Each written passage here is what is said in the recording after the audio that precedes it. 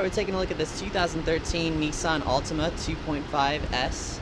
It's got HID headlights, a 2.5 liter four cylinder engine, an automatic transmission, and gets up to 38 miles per gallon.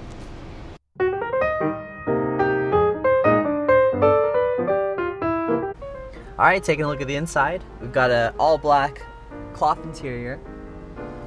Uh, I've got steering wheel controls for cruise control, uh, Bluetooth phone connectivity and voice commands, as well as audio and uh, controlling this menu in the back here. As far as entertainment goes, we got a CD player and an aux jack right here. This is really handy for playing music from your iPod or phone or anything. Uh, we've got a smart key system, so there's a push to start right here. We've got just over 22 and a half thousand miles on it.